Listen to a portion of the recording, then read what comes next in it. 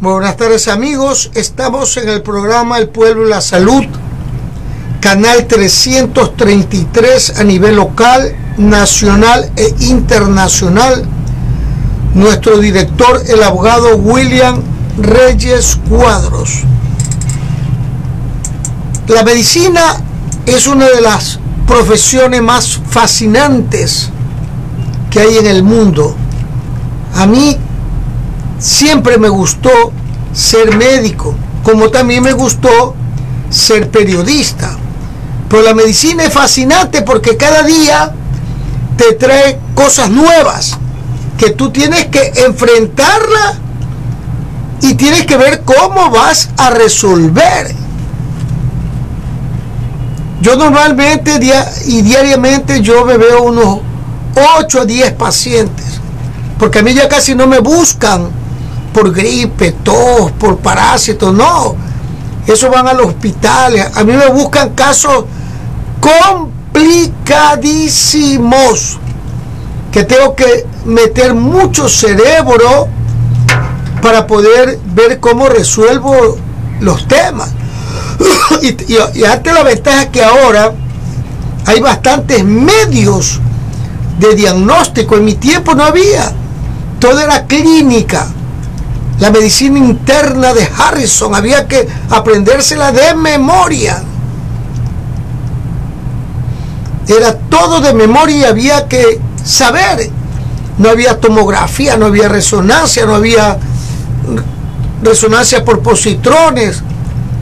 Y todo habíamos que hacer con la mano, era puro examen semiológico, la semiología de Suros, me acuerdo. Yo todavía me, me acuerdo la anatomía de Testila Target. Unos librazos así. E, entonces fascinante y, ver qué es lo que tiene que hacer porque tiene que dar respuesta al paciente, no es que es que eh, la parte teórica, no, el paciente llega a tu clínica y tú tienes que cogerlo enfermo y decirle qué vas a hacer, cuánto tiempo va a tardar en curarse tienes que ser realmente un tipo que sabe mucho de esta medicina. Yo por eso veo a esos muchachos jóvenes novatos. Manejar la medicina no es tan simple. Es complicadísimo.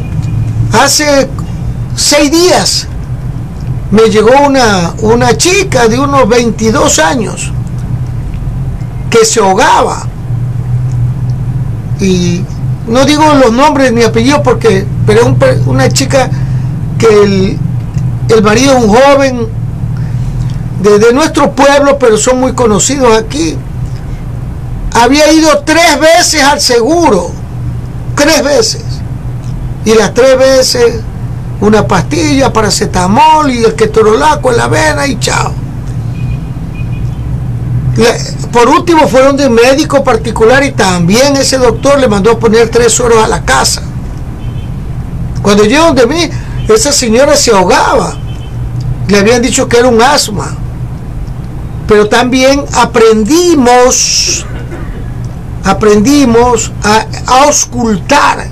Con ese aparatito poníamos en los pulmones y según los sonidos que daban los pulmones, uno llegaba a un diagnóstico de la enfermedad pulmonar que tenía con el estetoscopio.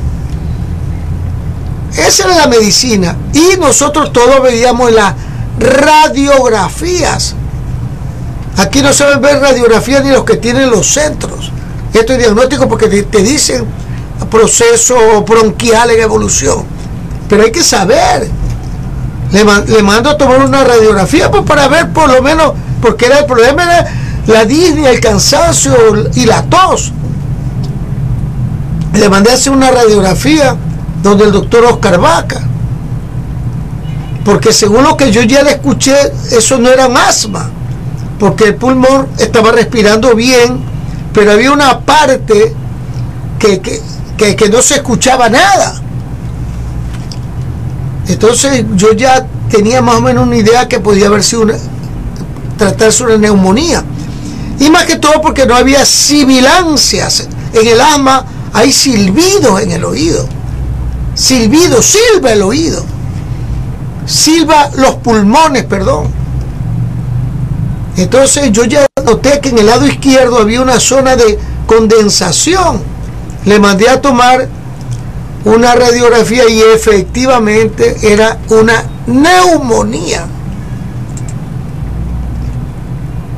Y ya pues tenía el cuadro de neumonía, ya lo había visto como cuatro médicos y, lo habían visto el seguro y, tenía que embarcarse, pues, ¿qué vas a hacer? Y el Señor me dice, doctor, ¿qué hago? Porque realmente estoy desesperado, cada día le veo peor. A mi nuera porque lo llevó fue el suegro. Mi hijo trabaja en guardián, dice qué cuestión. Y me dijo que traigo del doctor K porque yo lo había salvado al muchacho hace como 20 años. Y la mamá había dado luz al hijo en mi clínica. Bueno, entonces yo le dije, mire, estamos ante un cuadro de neumonía. Esto no se va a curar en menos de un mes. Ya de una ya le voy diciendo. En medio de un mes no se cura. Entonces, ¿qué hacemos? Dame chance unos cinco días nada más. Yo le ingreso aquí cinco días y el resto lo seguimos tratando en la casa. Pero ahora tú ves cómo está. Está con disney, necesariamente tenemos que ingresarlo y darle la medicina por vía venosa. Ya con el diagnóstico, ya en la mano, entonces vamos al estudio de, de qué es una neumonía. La neumonía es una inflamación del tejido pulmonar con compromiso de los alveolos. Hay pus, hay humedad, hay líquidos en los alveolos. Y el pulmón se condensa, hay área de condensación pulmonar. Esta chica tenía el área de condensación pulmonar en el pulmón izquierdo, grande, un área grande se veía en, en la radiografía. Le pedí los exámenes de sangre y tenía una leucocitosis. Los leucocitos estaban como 20 mil. Que, es la neumonía, una infección aguda del periquema pulmonar. Ya. Entonces,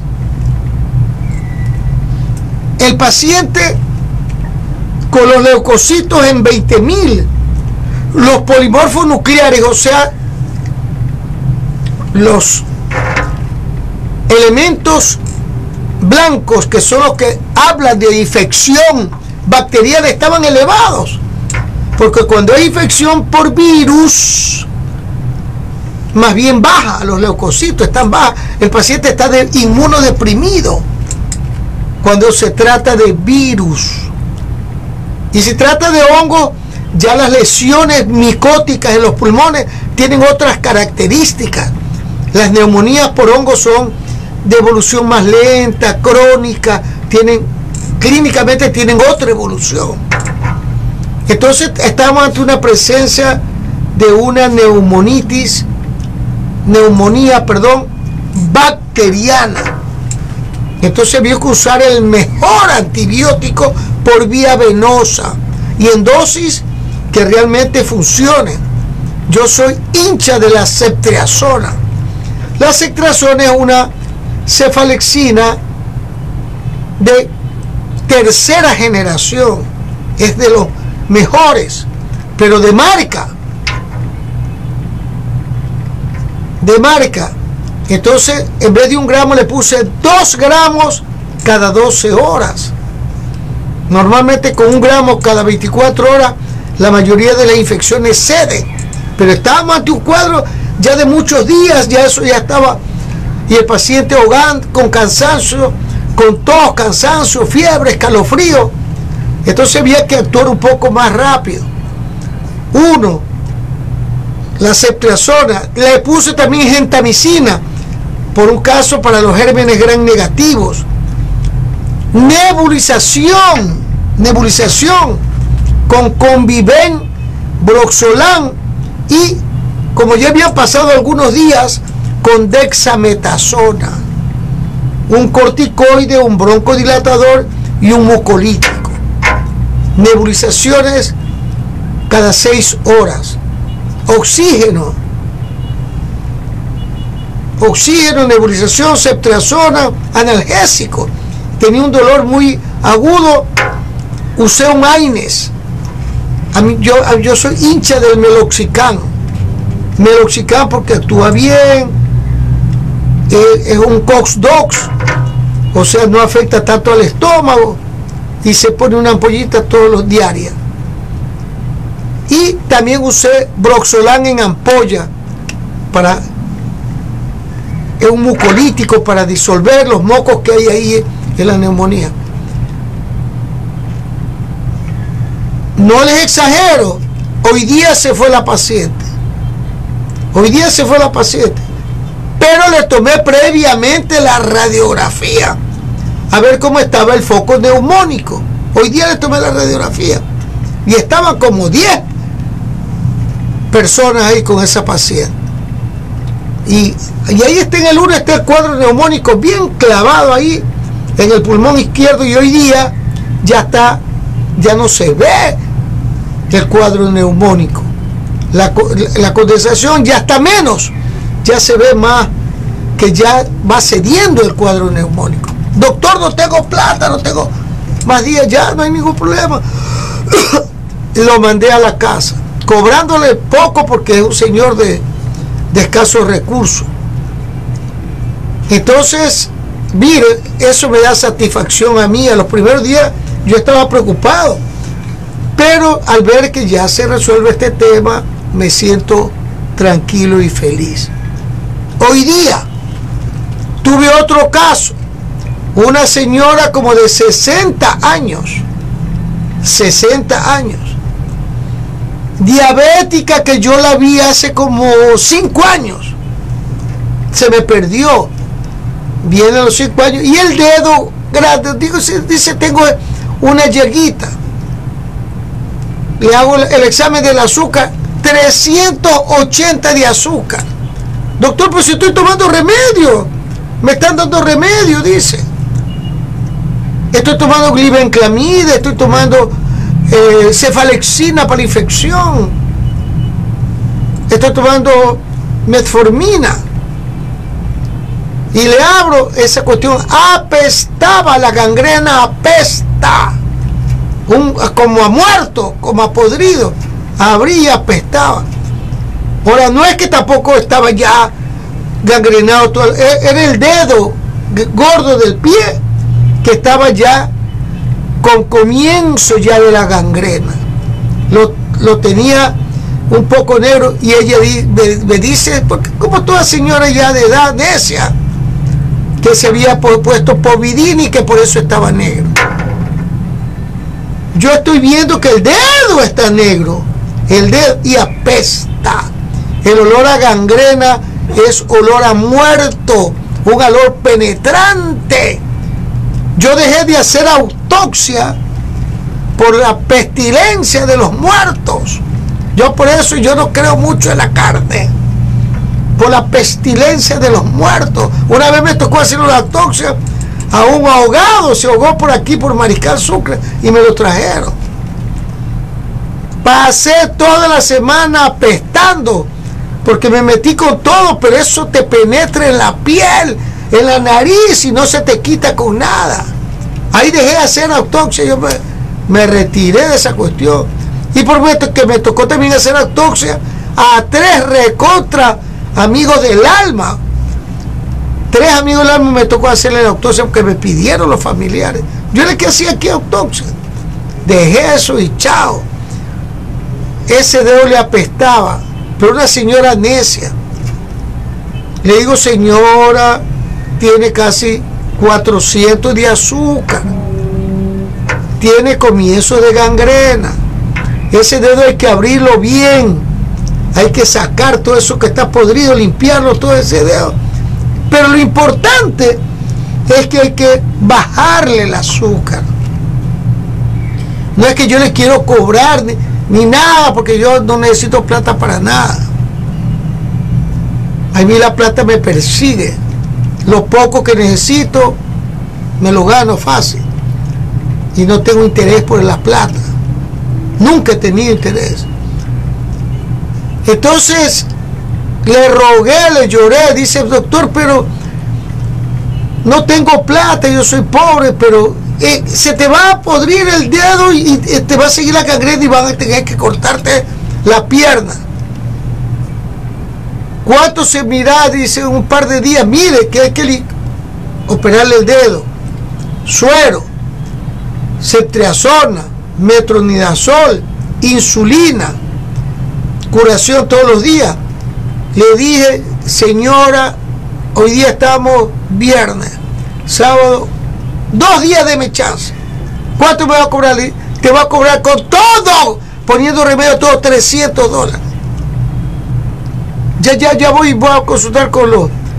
Cuando me dice el doctor, dice, no tengo dinero, no sea malito.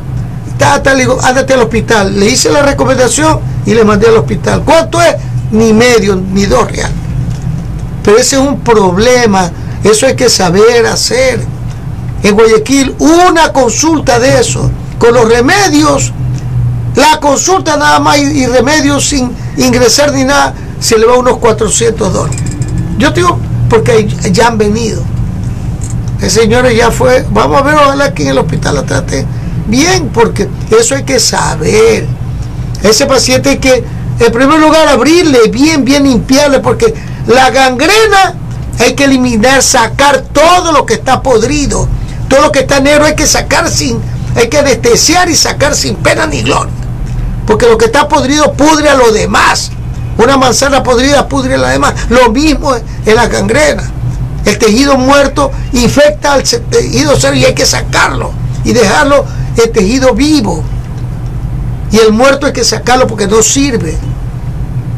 Entonces hay que limpiar el dedo, dejarlo bien limpiecito todo. Ahí no me están los 300 dólares. De ahí hay que ingresarlo, hay que ponerle una solución salina.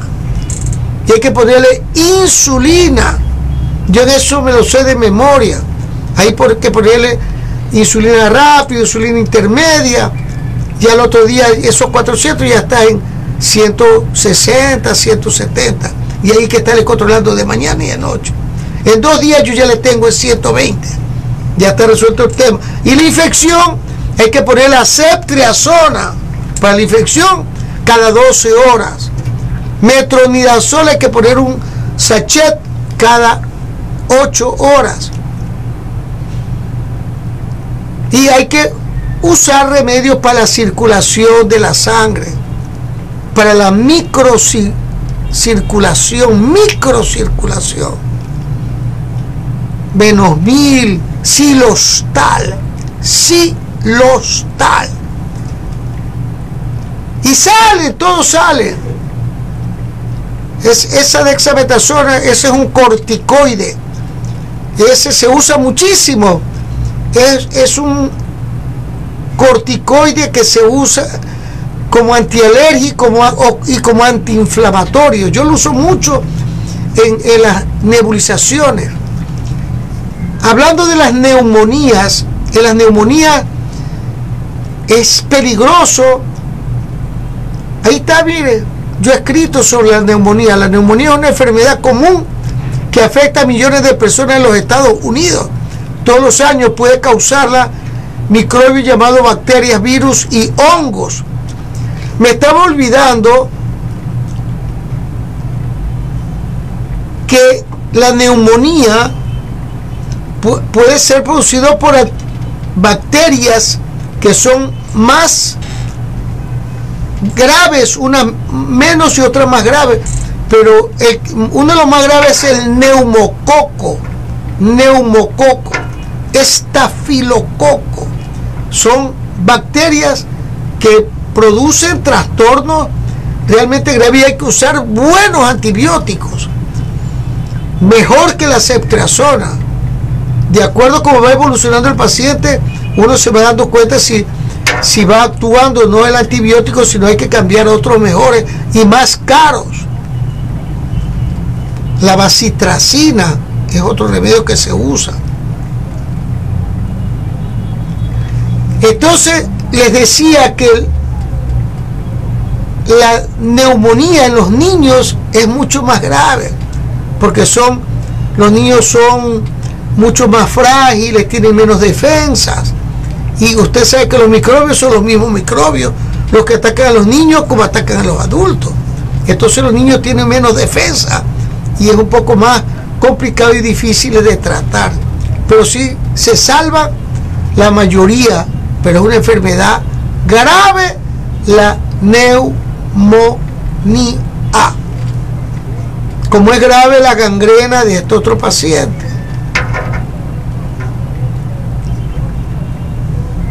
La medicina es extraordinaria, pero la medicina hay que saberla, como toda la profesión, como todas las cosas. Estaba conversando con una señora de mañana muy culta, muy educada, hora mañana y me decía, doctor, este, yo quisiera escribir, dice, como usted. ¿Qué hago para escribir como usted hace? ¿Dónde aprendió a escribir? Le digo porque estaba conversando de mañana.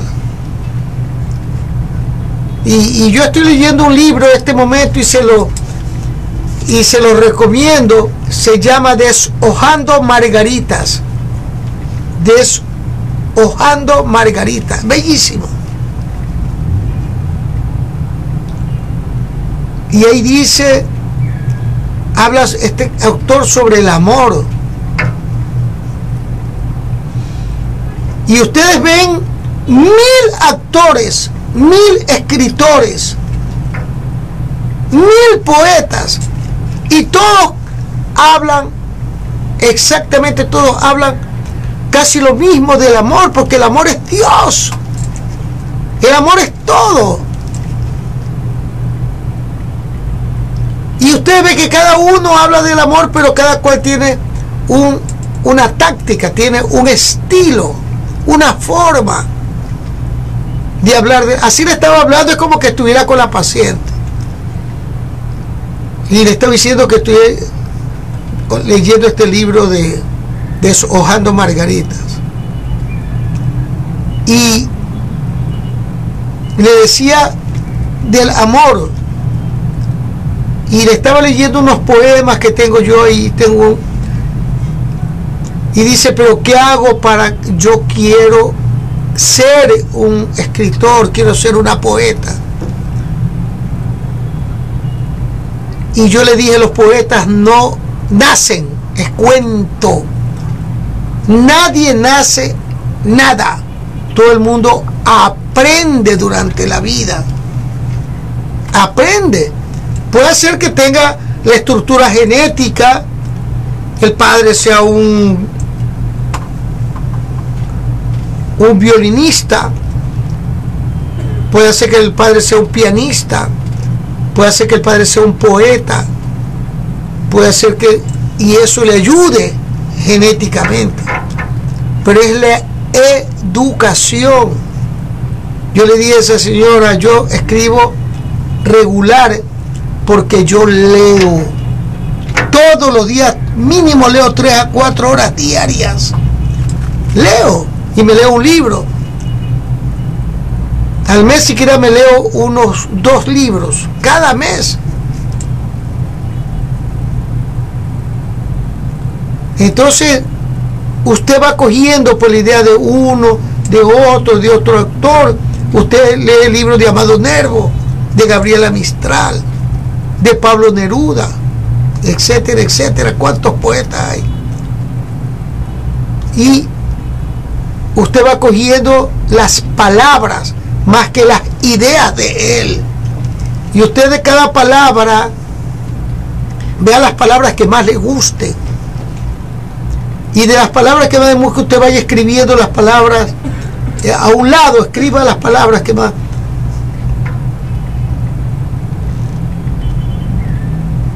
una palabra deshojando margaritas.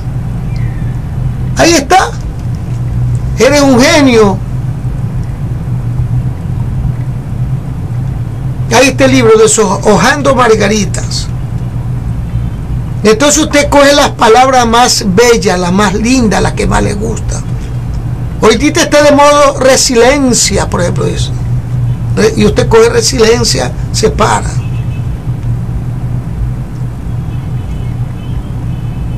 Inconmensurable, inefable, inaudita, vulnerable, poema, poesía, cielo, estrellas, pupilas,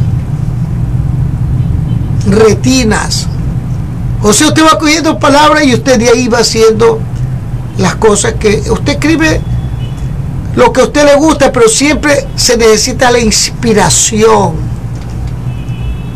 Al, la persona que siente algo por alguien, le salen las palabras.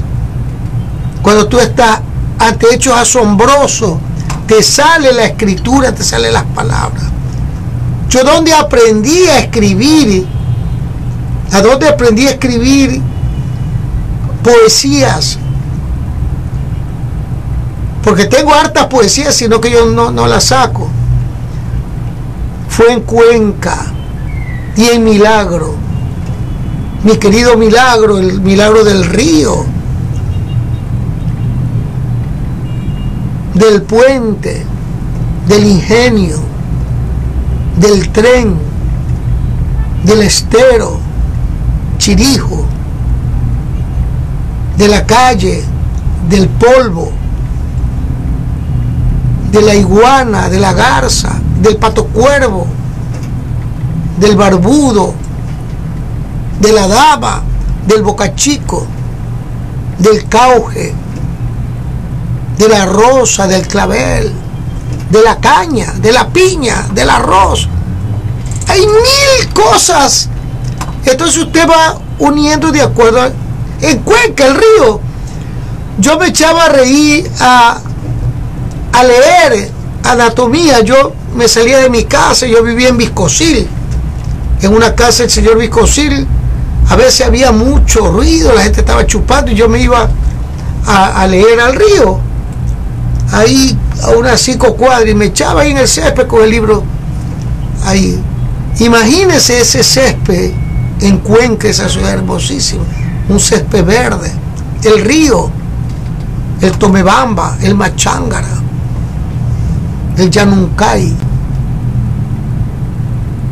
los ríos y unos ríos con sus cantos, con sus aguas cantarinas, con su melodía al chocar las aguas contra la roca. Es como cuando el cantante de guitarra toca las cuerdas con los dedos es, un acto de amor, de confraternidad, de unidad, de, llenarse de, de esas cosas. Trinidad López, qué gusto, qué honor. Muchas gracias. Todo e, e, en el mundo es amor. Yo siempre lo oigo a Mujica, un señor de edad sabio, un sabio, un hombre muy bien.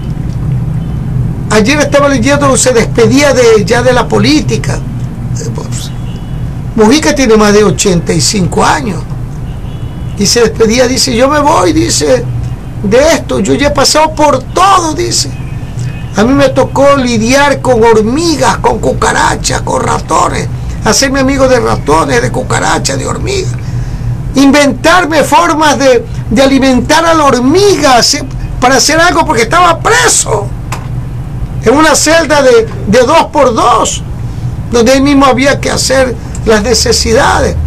Entonces tuve que ser mi amigo de lo que veía, veía una, una hormiga, una cucaracha, un ratón, y trataba de convivir y hacer alguna cosa con ellos. Si Mujica vivía en esas condiciones. Y mira, tiene casi 90 años. Ahora nosotros que José Eduardo, mi querido poeta y escritor, entonces si nosotros tenemos todo, tenemos, desde que vamos levantándonos, tenemos el aire, el sol, la luna, las estrellas, el río, la tierra. Si es cuestión de observar, yo tengo allá afuera de mi casa, tengo un jardín hermoso. Gasto plata en, ese jardín, yo pago ahí para que me lo arregle. Qué belleza ver florecer las plantas, florecer las rosas. Y mi mujer me llena de, de Roberto Ortega, qué gusto, mi querido amigo Ortega. Qué gusto, mi mujer me pone las rosas, las flores, me pone todo ahí. Yo llego y, y, eso es la vida, porque de esto no nos llevamos nada. Absolutamente nada. De los bienes materiales no nos llevamos nada. Es cuento. Que el carro, que la casa, que cuento, no te llevas nada. Hay, un escritor que a mí me dice, mi hijo, ya me tienes así, me dice, ya me tienes, el mismo White Daggers. E, él hizo la traducción del, de, un, de un libro, del Tao Te Ching, de, Wayne, de, de Lao Tse, el Tao Te Ching de Lao Tse. Eh, oye, 41 versos, pero usted lee eso, es una delicia, fue escrito antes que la Biblia. Y la Biblia es un libro extraordinario, yo lo leo todos los domingos. Pero ese, este Tao Te Ching tiene, lo tradujo Wayne Darius. Oiga, usted lee, se pone loco. Desde esa época, en idioma sánscrito, ya te van diciendo ya todo, ya está ahí todo, todo dicho. ¿De dónde venimos? Dice, Dios, Dios es la energía, te dice. El Señor, es la energía.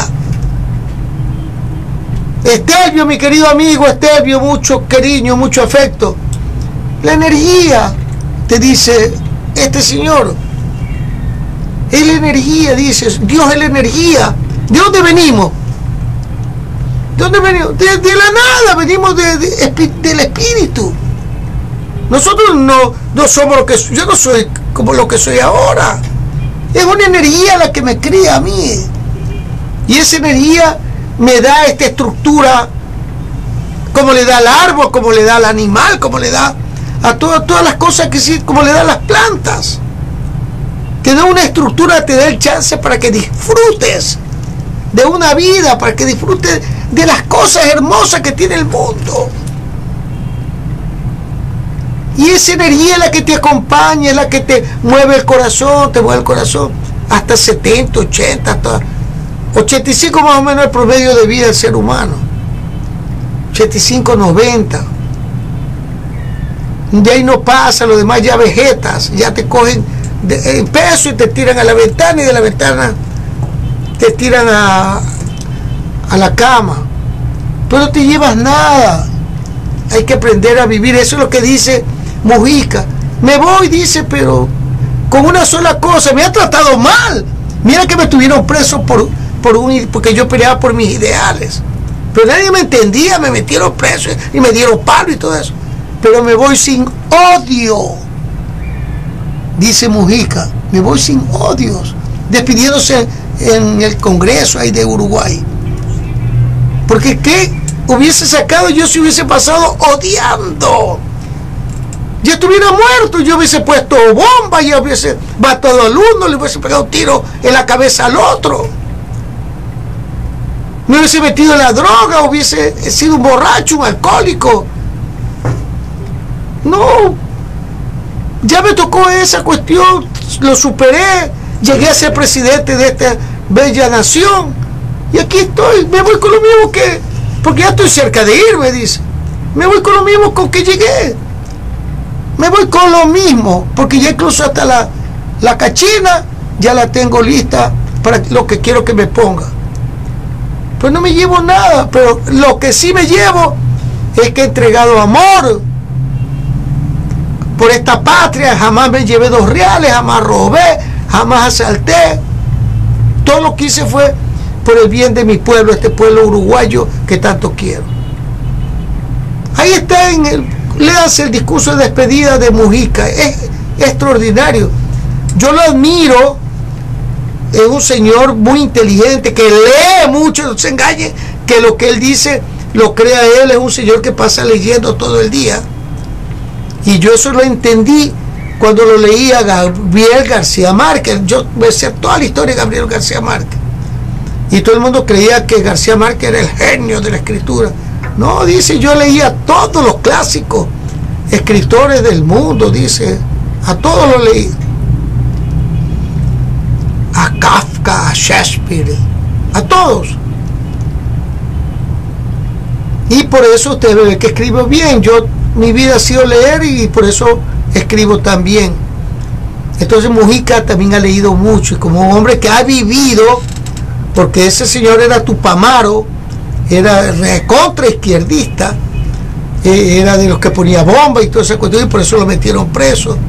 Era el tiempo del socialismo, ese que todos lo practicamos, el socialismo de los muchachos idealistas, que queremos la justicia, que se dé al pobre lo, lo que necesita el pobre, que en eso estamos hasta ahora, pero sin privar de libertad a la gente, porque hay que darle libertad. Sin libertad, ningún ser humano jamás va a ser feliz. Así le dé lo que le den. Uno necesita el ser humano nació, su esencia es ser libre, porque nacimos libres y cuando nos morimos vamos eh, a la libertad, vamos a disfrutar del silencio, de la soledad, eh, donde ya no hay tiempo, donde no hay espacio, que nadie nos joda. A disfrutar. Porque ese, es lo que nos espera en el futuro. Muchísimas gracias y discúlpenme mis indiscreciones, pero siempre será un honor conversar con ustedes, queridos amigos, queridos hermanos, que estamos embarcados en esta misma barca y que tenemos el mismo origen y el mismo final. Muchísimas gracias.